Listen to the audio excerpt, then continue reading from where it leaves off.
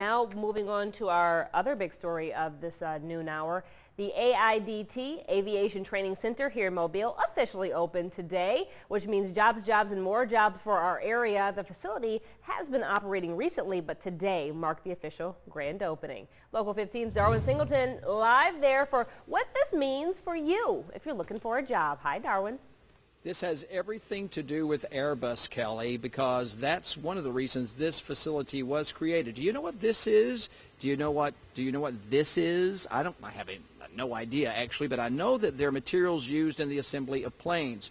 Well, that's what this facility is all about. These are workstations back here. There's a bunch of them. And then right upstairs there are, are computer classrooms. And then I'm going to squeeze over here and walk over here, Mike. It's going to show them this big area. See, it's empty. This is where they'll be bringing big components that would be, say, like a plane wing or something.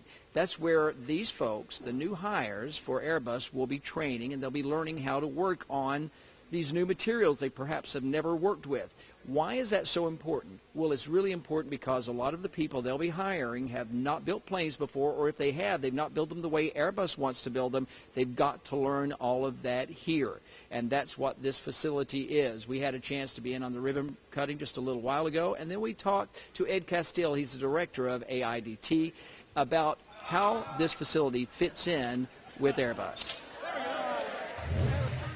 We've got to train these workers. Uh, they're going to come to us with a lot of experience. Some of them are going to come right out of the college, probably next door. Some are going to come off of other jobs, not aviation. And that means they've got to learn it the Airbus way. But Eventually, this facility will be used to train employees at other aviation companies that could come to Mobile and become part of this community here.